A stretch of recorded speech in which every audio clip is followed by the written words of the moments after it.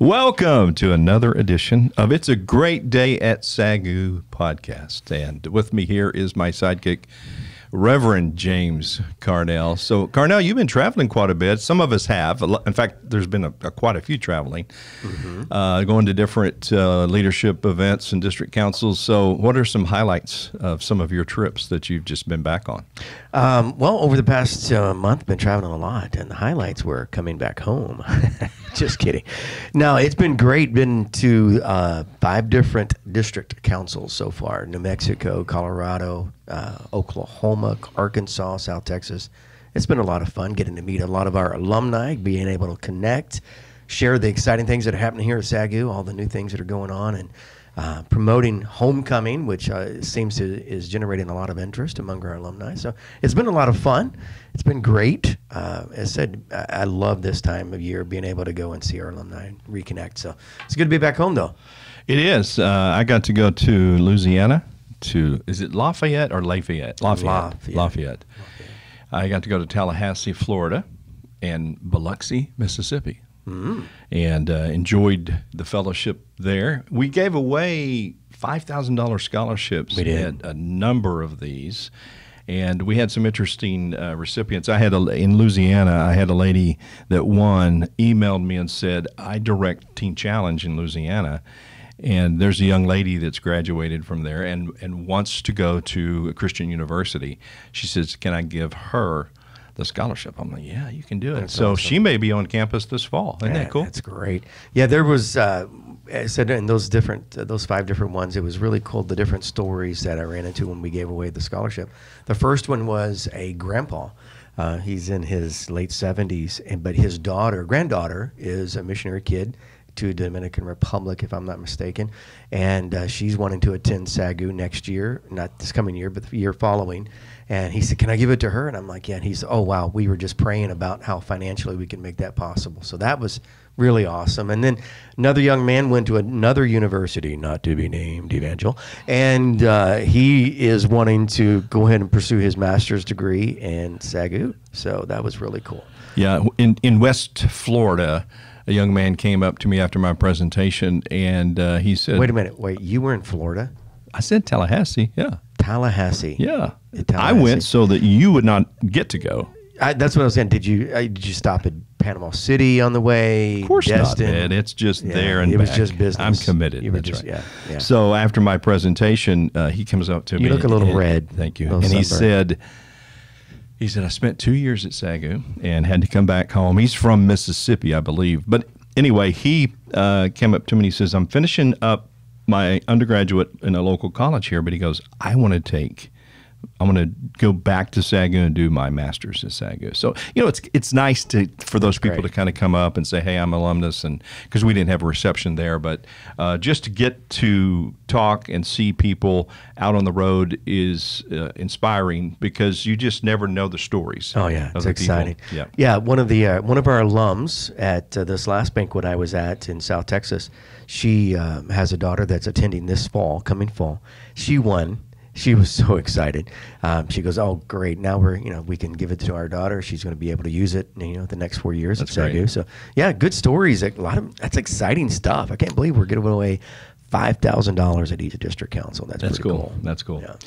Well, have any of you heard of the book? Who Moved My Cheese? It's a really cool book. Yes. It's uh, a parable that reveals profound truths about change. It has four um, amazing, kind of amusing characters who live in a maze and look for cheese to nourish them and make them happy. Uh, sounds like you, James. Mm-hmm. Um, yes. But two are yes. two of the mice are named Sniff and Scurry. Isn't that cute? And two are little people, being the size of mice who look and act a lot like people. Their names are him and Haw. isn't this hmm. great? You're just so excited to hear more, aren't I, you? I tell you, I can't yeah. wait. I'm, I'm, on the edge of my seat. Cheese. Wait, can I get my glass of milk and blanket? You can. You can. Okay. Cheese is a metaphor for what you want to have in life work, relationships, money, health, or maybe even spiritual peace of mind. The maze is where you look for what you want in the family or community or work. So in the story, the characters are faced with unexpected change eventually one of them deals with it successfully. So I wanted to just share about seven quick truths that comes from this book, Who Moved My Cheese. And if this inspires you a little bit, I'd encourage you to go buy the book. It's real small, it's a great read. But number one, change happens. it, is a fact that, and someone in your life, your work, your church will always be moving the cheese. It's just, it's just what happens. Number two, you need to anticipate change. If not, you won't be ready and could get caught unaware. Number three, monitor change. Smell the cheese often so you know when it's getting old. Mm. Are you okay with moving the cheese in your department, mm. your church, your family, whatever might be needed to make improvements? Mm. Number four, stuff right there. adapt to change quickly. The quicker you let go of old cheese, the sooner you can enjoy new cheese. Now, we're not talking about VP Phipps here. I, I know he's retired, but we're not talking about. he's not old cheese. I'll call him. I'm going to text him right now. Hey, by the way, old cheese. That's uh, right. And number five, change. Move with the cheese. Don't be a complainer when change, uh, change happens. Most times, change is for the better. And number six, enjoy change. Savor the adventure and taste the new cheese. Sometimes it all boils down to your attitude, James. Wow. And number seven, be ready to quickly change again and again. Organizations should keep moving the change or the cheese. If you have the mindset that change will always happen, you will deal with the change easier. Mm. Thoughts? Are you trying to tell me something? I, you know, you take it however you want to take it. The old cheese out. Well, I, I've, been, I've been meaning to say that I'm gonna. I think I'm gonna switch you and JB's office because uh, yeah. you're a little loud over there. Mm-hmm. You're disruptive, but yeah. you know, don't worry about it. You'll, you'll enjoy. You'll enjoy this. Hey, space. I just I just love our you know time together in the office. You know, they used to be uh, Dr. Barnes's office, Dean Barnes. That's what I hear when and I was at school. Actually, VP Phipps says my office was his office. That tells you how long he's been oh, around wow. as well. Yeah. yeah, and I remember you know going in there to receive you know accolades and commendations. Sure, you did. My time here, it was always perfect mm-hmm. attendance. You know, mm-hmm. everything I was being applauded for. It was it was pretty cool. Uh, well, speaking of uh, jokes.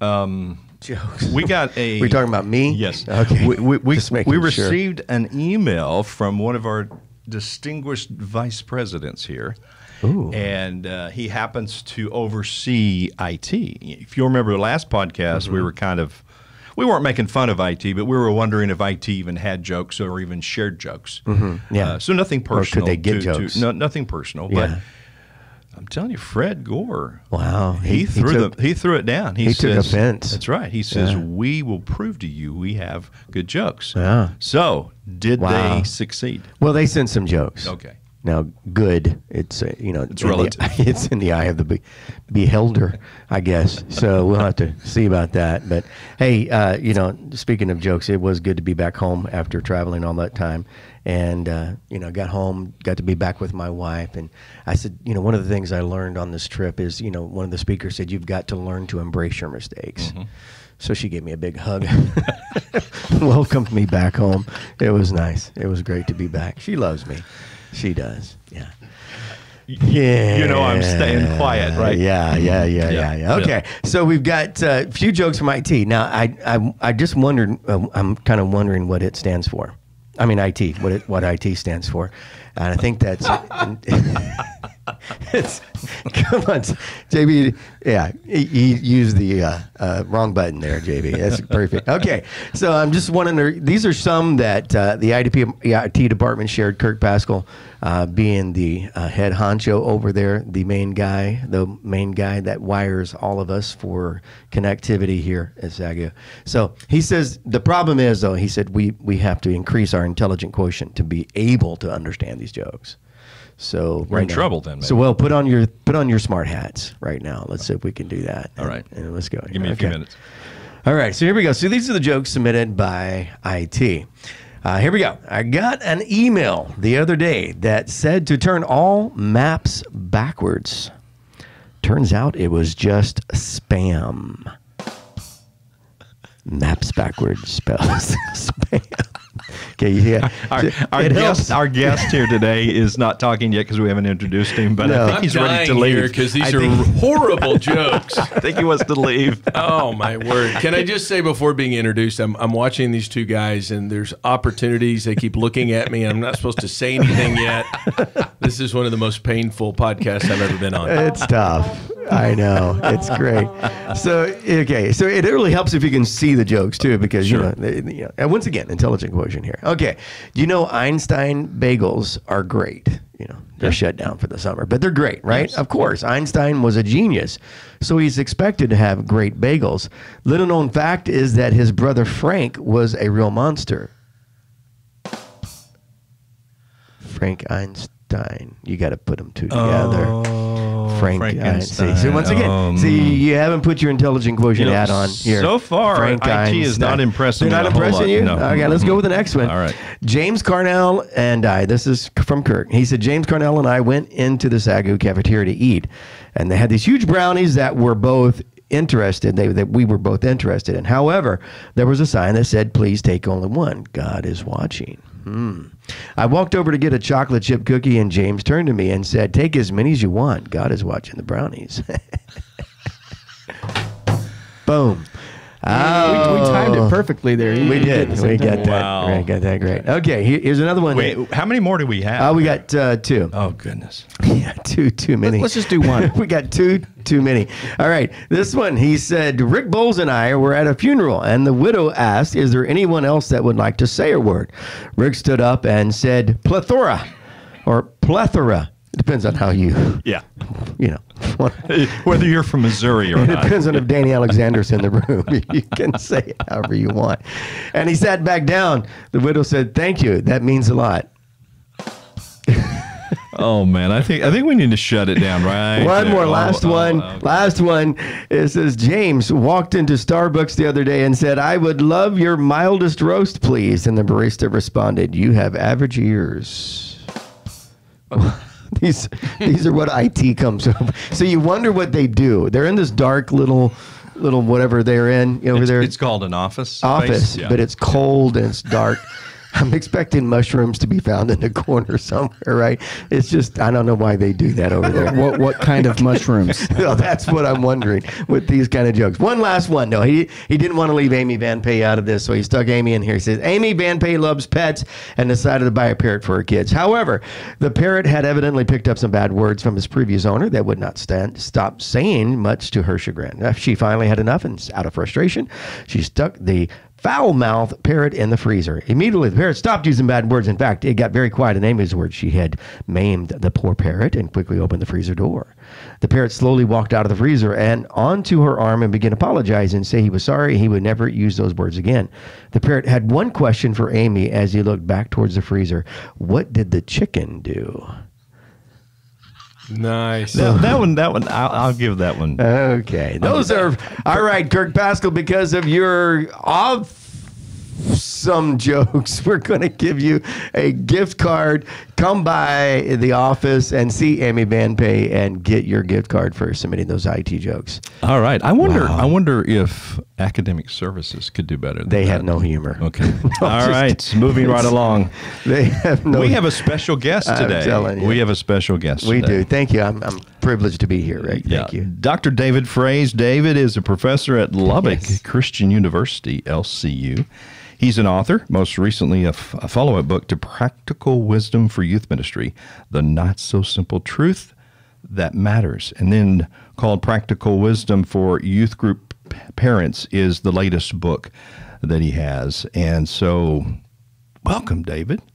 Oh, it's good to be here, and the jokes were awesome. I want to meet your IT folks. The mushroom thing has me concerned, and I would agree. Academic services, uh, they may not have very good jokes. That's true. Yeah. GPA stuff, and it's not fun. Yes. it's good to be here. Hey, thanks for being here. Hey, it's good to have you. Good to meet you. And even though you're a friend of Rick, I don't hold that against you. So it's it's good to good to meet you, Dave. Oh, Rick is great, and he does talk loud on this. He I've does. noticed. Yeah, I know. Before we started, uh, James was complaining that he could not be heard, and there's kind of a power struggle going on There in is. this office. There is. that is. Yes. Rick has the dominating voice. He so, does. He- Well, uh, when you're the host, You, you can do what you want That's to do. right. Host with the most. David, we met what about eight years ago? Has Yes, it been about eight years ago? And uh, I brought brought you on to FCA. For those of you that don't know, that's Fellowship of Christian Athletes. He came on staff part time. Uh, was working as a, a youth minister there in the area, and uh, I asked David to help me launch a new initiative we called Character Coaching. Years earlier, uh, coaches at public schools were asking for volunteer chaplains to help with team devotions, opportunities to reach their athletes with the gospel. But as things happen in our society, along the way, school administrators began getting more and more pushback on chaplains. It's mainly what it was called, but they were getting pushback on allowing chaplains in the public schools. And so that word became an issue. So um, we were able to create uh, character coaching, changed the name, but then we also really took a hard look at what the purpose of it was all about. So, character coaches uh, create an opportunity to be, to mentor, to build relationships with athletes, uh, help the coaches along the way. So, I wanted to ask you, David. Um, recall, go back. Uh, because I know you were also serving as a character coach there. Um, what were some of the experiences that you recall uh, leading some of these uh, students and mentoring and and you were you know we had to be careful because we're in public schools to you know be careful not to just get in there and preach the gospel every day but some really cool things happened in relationships so go back a little bit and explain where you at where you were at during those times Well, let's go back to the very beginning. James, you're talking about your, hey, Rick gives a call and, hey, let's, you know, come work at Sagu. Um, My story's sort of the same. So uh, before I met Rick, probably six years before, um, there was an FCA staff member in Fort Worth. And this is before they reorged everything, before Rick came in and uh, organized it the way it is today. And so uh, this guy, a friend of mine, Baptist minister at North Richland Hills Baptist, was leaving to become a senior pastor, and he says, "Hey, do you want to do character coaching?" I'm like, "I have no idea what that is." And he goes, "Well, you just come and you do some, you talk about a word of character on Friday mornings, and that's about it." So I said, "Sure." And uh, I never received a background check from Fellowship of Christian Athletes. Um, he introduces me to this guy. He introduces me to the head football coach, um, who is now retired in Kansas. He worked for KU for a while after leaving the high school. Uh, one of my best friends to this day, uh, Chuck Wells, who's now at Timber Creek, but he was the baseball coach there at Richland. Um, and then this donor, and I'm, I'm sitting at Pete's uh, Riscky's dad's barbecue place, and we're eating barbecue sandwiches. I have no idea what's going on. and the next thing I know, yeah, you can have access to our football team. That's literally all I knew. So I walked onto the field, a 6A football uh, program. Um, the coach stopped practice, which is odd, and uh, looked at me and pulled me over. And I'm sitting in front of the 6A football team. And he goes, This is uh, Dr. Okay, this is Coach Fraze.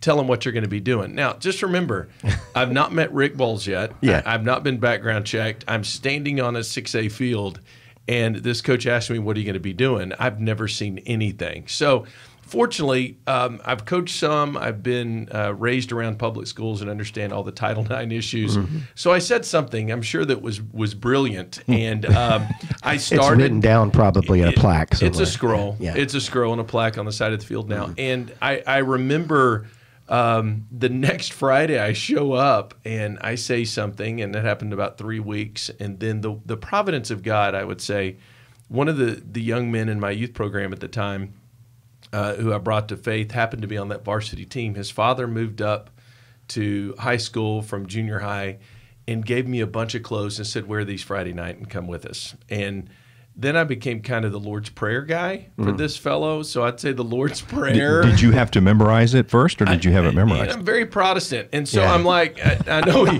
we talk about it a lot, and I teach it, uh, but I'm like, oh my word, do I know it? I kind of panicked. Um, Did you kind of do the Gregorian chant version? Oh, changed Father without in heaven. Hallowed be thy name. yes, it was kind of like that. Um, but but through through the season, just kind of walking with the students, um, it became one of the the neatest things I've done. I would say in the last 15 years of youth ministry.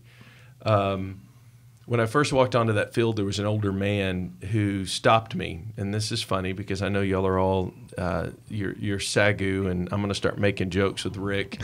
I've not seen anyone juggle snakes yet. and I'm kind of disappointed. Dude, Um, you missed it.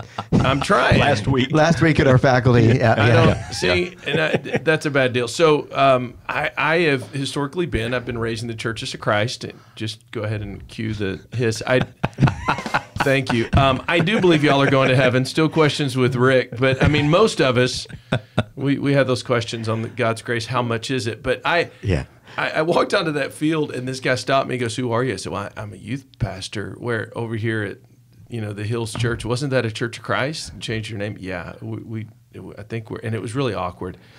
We're and he said, a "What are Church you of doing Christ, here?" but we have a cool website. So No, it's we use instruments. No, another story. So we're sitting here talking, and he's he after he vets me, I go to the other side of the fence, and he goes, "That's my grandson," and it was the quarterback at the time. He goes, "I'd appreciate any help." Um, that young man still calls me. This has been 15 years. I've done this a man's, uh, this grandfather's, his wife's funeral. I, I have been involved in that family for 15 years, and it's kind of a neat story. But so I'm in this for six years. I could go on and on. It's been pretty amazing. And one of Rick's board members and I were playing golf, and he goes, "You got to go meet Rick." And Rick literally, James, you'll love this. He took a piece of paper. We're at a restaurant, and he goes, "We don't know who you are. I mean, literally, but we think you're doing this." And there was one at the time. There was one piece of paper about character coach. I'm like, "Yeah, I think I'm doing all those things." And, I- and so he goes, "We think you're doing it pretty well, but you're not in our system. We don't know what's going on." So, it, really, really long story short. Um, he invited me to come train and tell his staff what I'm doing with character coaching. well, here's- a year. I'm, I, he said, After "Okay, you've been doing it, yeah. I want you to do it. Well, I've been doing it for six years. I want you to do that. I want you to codify it, and then I want to expand it." And he got me so excited. I mean, we started with what they were kind of huddle coaches at the time. We expanded it all over Dallas Fort Worth, passed it through UIL, through uh, the uh, THCA. It's now uh, we can have, and it's pretty unique. I don't think there's anything like it in high school football in Texas because that's kind of a cult. Um, we have. Um, a presence on the field, and we're actually I've trained the Texas Sports Association officials that we actually help also control what's going on in the field if they need us. So it's it's uh, been quite a That's quite a journey. You left out though, to me, the the the great part of this story. So when we're at the restaurant, and my board member is introducing me to you, and he had given me a heads up. He goes, you know, he goes, I. David's David's from the Church of Christ background, and I know I know you're I know you're Pentecostal, so is this going to work? And I go, well, let's find out. So we're talking, and and he's kind of after we've kind of joked around for a little bit. David's like, yeah, I haven't, I don't know about you snake handlers, you know. And I said, well, I got a question for you. If I hire you, and we go to our sports camps, yeah. and we get young people saved, are you going to just immediately demand that we baptize them in water right there on the spot? Now, if that's not funny to you, then you don't know about the church, some of the Church So- of Christ background. But so we both kind of have these. So this was our joke moving forward. He'd say something about snakes. I'd say something about baptism. Mm. So anyway, And so, we were actually at DBU, and a bunch of kids came to faith. And he goes, you have a problem with this?" I mean, he's always jabbing. You know, Me? We, we have a common theme here. Rick's just Well, like there is a- tap tap tap tap tap tap. There's a time of grace in that baptism thing, so it's got to be done, you know, in a in a certain amount of time. So you know, yeah. Think, I, James, I'm liking you more. So I, I'm. Well, you know, I, I did work with seven denominations as you know citywide youth pastor one time, so it was. You're big deal. I learned no, no, it's small town, not as big as a Rick. big deal. So it was. Wow. It was fun to get to work with everybody's, you know, different backgrounds. That was It is really cool. It is fun. And Rick's like, "Do you have a problem with that?" And I said, "Then there was a found at DBU, and I said, kids will be tripped." You know, I mean, I don't know if that's it's bad. he walked around with a, a spray Squirt bottle. gun. Yeah, yeah. We, we Oh, will we can baptize a different conversation. one way or the other. Y'all even believe in immersion. Okay, well, let's move on. Yeah, Let's man, move yes. on. Let's do so it. we here in just a few minutes when this is we're, we're taping this on a tuesday but we are about to uh, engage in character coaching training here at sagu and uh, i just want to thank president bridges for uh, allowing me to present this to uh, Coach Godding and, and VP Phipps. It, it is uh, character coaching uh, here on SAGU is about to become part of the, the athletic department this fall Uh, some of you may know Jackson Sandiford. Jackson is a U.S. missionary based here in North Texas. Uh, he is currently a character coach in Duncanville. So if you know anything about Duncanville football, I mean, they are great. And he's been doing this for years. And I was just kind of casually sharing uh, this idea of doing character coaching here with our athletic teams uh, with um, a couple of people, and, and Jackson was one of those. And he calls me up a few months later and says, "Hey, I talked to my boss, and he he thinks I'd be someone that would work great as your part time person to help with uh, launch character coaching."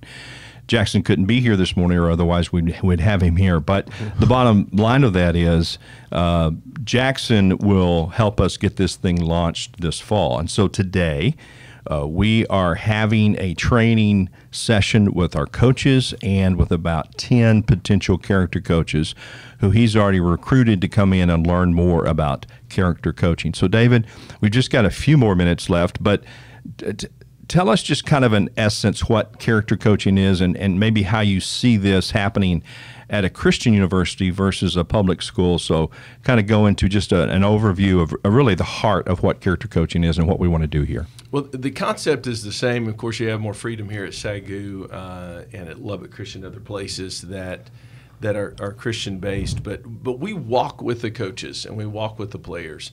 So um, all your coaches here, and I know a few of them, and the coaches that are uh, that, I've worked with, there's a lot of believers. I mean, especially even in our public universities, not all of them make a lot of money, and so they're, they're trying to make a difference. And so, what they do on the field, we try to do that in life. So, we help them with all of those life skills and the great things that you get out of sport.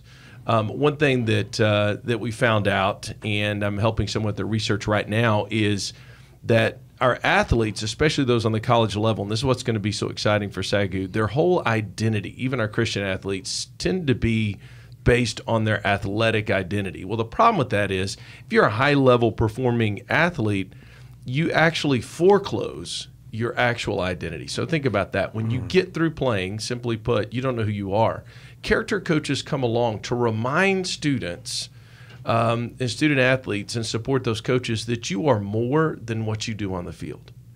Um, that if you can lay down what you do on the field and then pick it back up, especially in Sagu's situation as a child of, of God, what a powerful combination. And so you get the most out of athletics in that experience.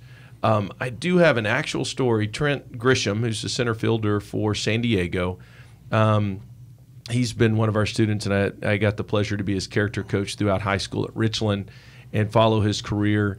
And I finally got to go to San Diego. I was out there speaking, um, not at the beach, James, but I was out there speaking at Pepperdine. And so um, I went, and he, you know, we had, you know, passes to, um, you know, the the batting and everything. It was so much fun, a lot of fun. And we started talking about just the stress of being a pro athlete. And I love what he said and it goes into to one of the reasons that I'm so excited about SAGU having character coaches. All the stress that was going on, and he was telling about someone who had just committed suicide that was on he had in minors, and uh, he said, "I remember what you told me, David, that my identity is found in who I am and not what I do." Mm-hmm. And I was just taken aback, going, "Hey, it, it actually makes a difference." And so yeah, we help with competition. We help with competition mindset, and we help with all those things that the coach would want us to do. But the greatest deal, and here's the big fancy word, I'm going to use this, and I know that even assemblies of God believe in this word, incarnational. So mm. I, I'm not there to be a coach and do X's and O's. I'm not there necessarily to just straight out say, if you were to die today, would you go to heaven or hell? Um, the Holy Spirit brings moments of great conversion, yeah. but we walk along with. And when you walk along with First Peter chapter three, somebody's like, "Dude, James, you're different. Rick, you're different. What's going on?" Let me tell you why I'm different. Mm-hmm. And then that conversation starts. The Holy Spirit takes over. Doors open. There's so many kids, Rick, that have come to faith just because of a faithful presence in um, a student's life. And so it is that works in private and public schools. But what an advantage here at SAGU yeah. to just come out and say, hey, I'm just going to walk with you. And so that they have more of an open door. Um, and I would say, and I'll say to our character coaches, if you come in very hard and say, you know what, guess what? You've come here to play football, but you're not saved. We're going to get you saved. It's not going to work. Mm-hmm. We're here to be incarnation. We're here to walk with. Most of our character coaches are competitive little cusses, and that's what we want. you want to be competitive. Mm-hmm. You want to be involved in that, but at the same time, you, you gotta you gotta look at yourself and realize it's more than about the wins and the losses. It's about those relationships you build, and it is absolutely the most incredible thing really I've done in youth ministry the last 15 years. That's awesome. You know, working in the community like you're doing in, in the in the public atmosphere, it's it's so cool to. I think for many youth pastors, for many pastors, um, they kind of get stuck into that church bubble where they don't have very much influence, any much, or very much connection with what I call real life, with people. Real doing- live uncaged pagans. They I don't mean- even know the names of pagans. Exactly. How sad is that? A- And so it's it's a it's an awesome time to be on the field. You know, I mean, to be there, to be just you know rooting them on, encouraging them. You know, I believe in that wholeheartedly, and it to see that, and especially even here at SAGU, Christian University, uh, there's so many young men, women that need, uh, you know, just guidance, wisdom, how to navigate their faith you know how to grow stronger in their faith. Maybe maybe maybe some of them are at a place in their life where yeah they grew up in church and you know it's mom and dad's religion but you know being able to see how that can actually be lived out in their own life you know and have that character coach someone they can trust and i think that's an awesome thing and they're not going to talk to their coach, especially Yeah. let's go to the university level. And Rick, you know this scholarships are attached to things, and I think Mm-hmm. our coaches at our Christian universities do a really good job living out faith. For the most part, they do. But there's Mm-hmm. also this fine line because some kids, in an inauthentic way, feeling like if they get involved in religion, the next thing you know, their coach will play them more. They don't get played. The next thing you know, the alumni office is hearing that there's bunch of crazy kids on whatever sports team. Yeah. Um, it's very difficult, especially, and I would say sometimes more difficult at a Christian university to do athletics because of expectations. But here's the reality I know at Lubbock Christian, um, our own denomination is only like 28% of our student body. Then, like 60% Christian, that leaves like 40% of people who are there for the education, the experience. I love that as a general Bible teacher. Yeah. You know, I get that, that that's a mission field.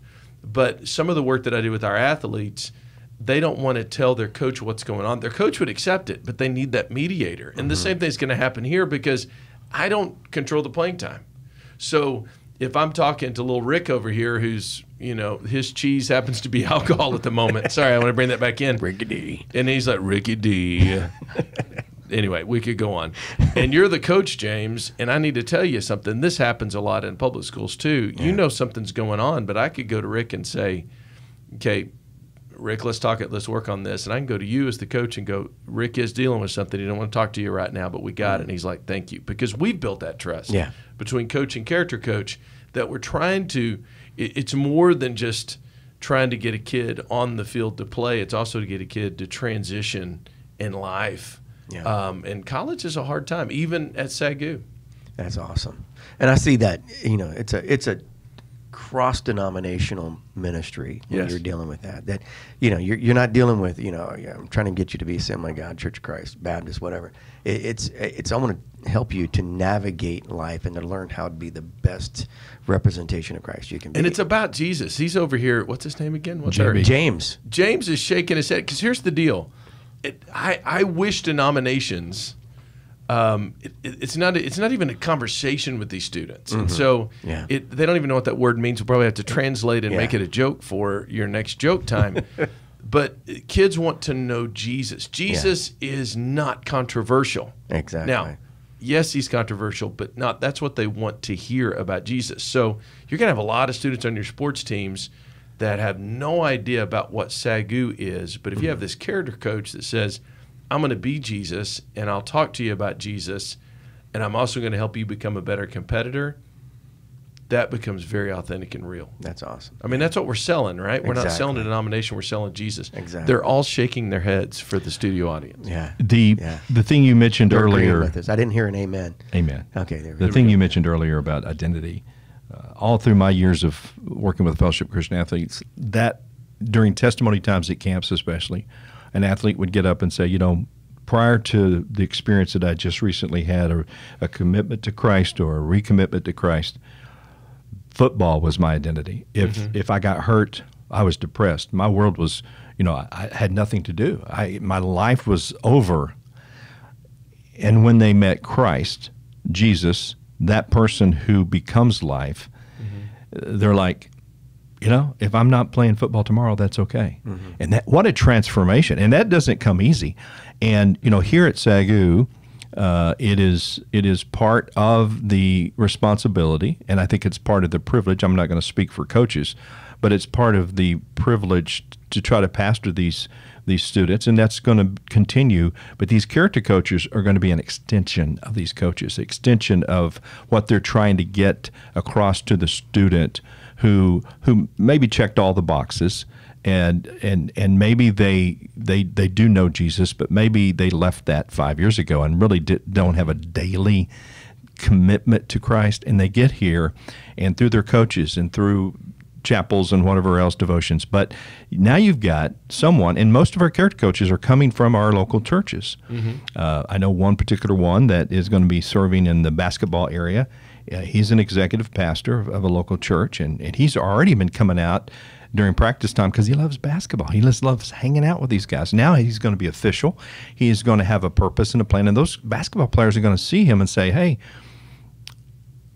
thank you for not only already coming out and watching us, but now you're pouring into us and you're giving of yourself." And it, it won't happen overnight, but I guarantee you that this is going to make a difference in lives of our student athletes here on campus. Oh yeah. No, absolutely. You know, um, Ryan, who helped, you know, we worked together on the initiative for a long time. He played for the Cowboys and got us connected, and we did some work. And actually, Coach Smith and I work for the Cowboy youth camps, and so that's where we met. Um, we talk a lot about identity. We talk a lot about um, the idea of who you are on a field, and it is couched within, and I'll call it Acts 17, which we'll talk about. Paul preached an entire sermon um, in Athens and never mentioned the name of Jesus, but it was all over it. And so, whether in a private or public sense, character coaches get to go in and get to represent, get to contextualize this experience of sport and try to bring it back to what we intended. Um, and it's it, it. Sometimes coaches are like, "So who are you?" You know. Um, Because I, I, I've been known to yell at a ref or two, and I've only had two flags thrown at me as an ordained pastor. So, um, but but in the midst of that, uh, it, you become real to them, and Yeah. you become you embed yourself with the team, which is Ricky. You and I have talked about this. One coach, one team. So that guy you're talking about, he will be the coach for basketball. And once you're ingrained down to that level, and they realize you're not just there to give devotionals, because character coaches. People, we have dime a dozen people come in like, I'd like to speak to your sports team. I'm a pastor at whatever no one cares. I mean, they really don't. I don't mean to hurt people's feelings, but It's true. We'll bring pro athletes in to teams. And they're like, ah, it's fine. What does Coach Fraze have to say? Because um, it's about relationship. Yeah. And once you embed yourself, that's where the magic will happen, Rick, is Yeah. because people will say, you did my wedding, you did this funeral, Mm-hmm. you were at the hospital with me, and, and I need you right now. And when that person shows up, it's so unglamorous, but it's the most glamorous thing you can do in ministry. Well, there's a need. And my son played two years baseball here at SAGU. Um, you're, you know, pastor's kid, grew up in pastor's kid home and everything. But he came here, and his his um, his experience was different than what he expected. You know, coming to a college because, you know, the athletes their schedule is totally different than the rest of the student body. You know, they're playing baseball, so they're practicing until you know five, six, seven o'clock, and then they go uh, to lunch, dinner separate from everybody else. You know, they eat by themselves. And and he said, you know, I didn't get the experience that a lot of the kids get at a Christian college, and and I see the need for that coach to be there in that separate schedule, you know, to really speak to those kids and to really be able to to connect with them where they're at and what they're doing, and and and really touch base with them on a on a really key level. So that's awesome. Well, Fraze, thank you for being here. And Oh, it's good we're, to be here we're and the about to jokes and everything. Yes, uh, I know Did you. he say you enjoyed the jokes? well, I think he wrote them down. I think he's going to share those at those Lubbock Christian later. University at some some point. are we going to take him by to see the mushrooms? So, April 29th, we were excited to have a groundbreaking ceremony for our new track, uh, football, and soccer turf field, phase one. And James, read the um, announcement that we have uh, from uh, Ron Crane, and uh, so everyone can pay attention to that area back there behind Shepherd. Ladies and gentlemen, may I have your attention, please? This is a message from Chief Ron Crane. If you are on the SAGU Waxahachie campus, be advised that the athletic field parking behind the Shaper building is closed effective today at 510 2022.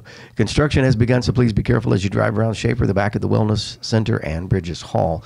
There will be trucks and equipment in these areas, but we are making improvements, and it's exciting. Exciting. And we have one additional announcement. Uh, on Friday and Saturday, that's the 13th and 14th of this week, we have the campus wide rummage sale. Okay. So if you want like a free dresser, I'm probably going to pick up like two myself. Uh, don't miss it. It's going to be from 7 to 11 a.m. Uh, at Collins, I think. If if it's not Collins, uh, Just look for Correct. I think it's in the basement. of Clothes Collins. and- it usually is. Yeah. basement of Collins. So bring out your rummage. Why do you need two Bring dressers? out your rummage. Why do you need two dressers? What is it? Uh, one for uh, my kitchen supplies and the other one for my uh, pets. I'm glad you, you you clarified. I thought he said dresses, and I was just looking strangely at you. No. I mean, dressers. not for, not for me. You need dressers. Yeah. dressers. Okay. So cool. He's gonna that. he's that's that's a cool idea. Put your pets in a drawer and, and just hide them. See, I just can't. I couldn't answer clothes. Pull them out, pet the pet the cat, put it back in. That's a you stay there, Yeah, cat. That's fun. Good job. That's good. All Yeah, right. I Thank y'all. it. This has been another edition of SAGU. But what do we call it? It's a great day in SAGU. what is that creative name you came up with, Rick? Oh, wait a minute. I know. It's a great day at SAGU. You're welcome. Help me.